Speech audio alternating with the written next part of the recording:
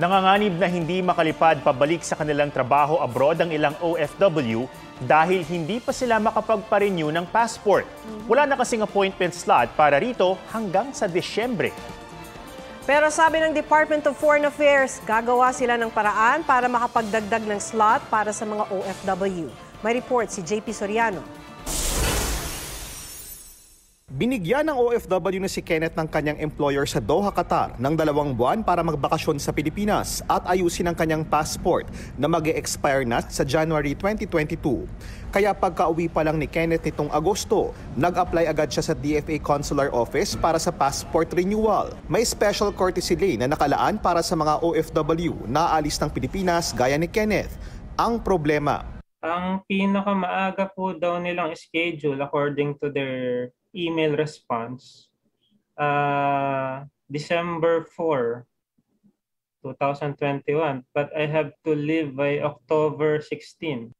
Dahil walang passport, hindi mabigyan ng POEA si Kenneth ng Overseas Employment Certificate na kailangan para muli siyang makapagtrabaho abroad.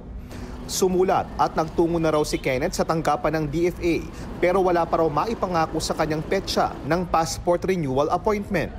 Kami lang po talaga inaasahan ng pamilya namin. So, kailangan ko po talaga makabalik doon sa trabaho ko. Otherwise, maaring mawalan ako ng trabaho. Ayon sa Consular Affairs Office ng DFA, dinagdagan na nila ang appointment slots para sa mga OFW. Ang mga kailangan ng makaalis ng bansa, pinapayuhang mag-email sa DFA. ng uh, OFWs na nag-i-email sa courtesy lane ng DFA ay binibigyan po natin ng appointments according to their uh, urgency. So kung talagang malapit na malapit na yung kanilang uh, uh, deployment, uh, nilalagay natin sila sa bandang una ng courtesy lane. Paglilinaw naman ng DFA, hindi totoong ubus na ang slots para sa passport appointment hanggang sa susunod na taon. Sadyang wala pa raw silang inilalabas na slot para sa October hanggang December ngayong taon. Inuubos daw kasi ito ng mga professional appointment seller kaya gagawa raw ng bagong sistema ang DFA Consular Office ng paglalabas ng online passport appointments. Inaayos po ng ating tech team na yung ating sistema ay hindi mapasok yung mga ganyang uh, applications. JP Soriano, GMA News. Huwag magpahuli sa mga balitang dapat niyong malaman.